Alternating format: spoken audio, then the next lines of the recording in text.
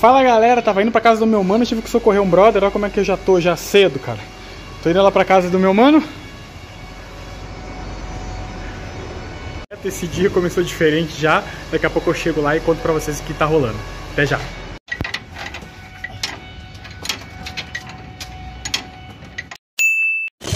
Fala galera, e aí, dia 10 do projeto, Iniciando mais um dia de um jeito diferente, de um jeito estranho, né? Porque tive que socorrer um brother ali. Socorrer, né? Modo de falar, tive que guinchar ele. Mas deu tudo certo no final. Tô indo pra casa do meu mano. E a parada é a seguinte, cara. Deixa eu dar uma parada aqui pra trocar uma ideia com vocês rápida. A parada é a seguinte.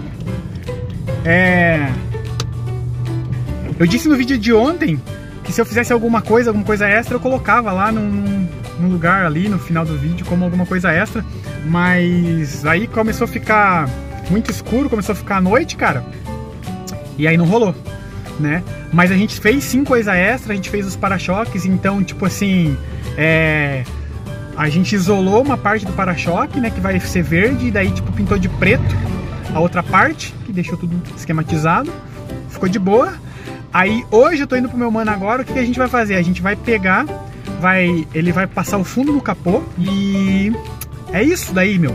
Aí os para-choques estão prontos, passar esse fundo, daí vamos trabalhar na lixar essas, essas paradas e deixar ele zero bala pra gente poder pintar, certo? Então é isso que, vai rolar hoje.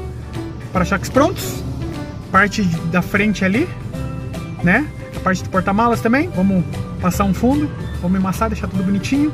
Vamos fazer os. Provavelmente meu irmão já deve estar tá fazendo, né? Os capô. E é isso, cara.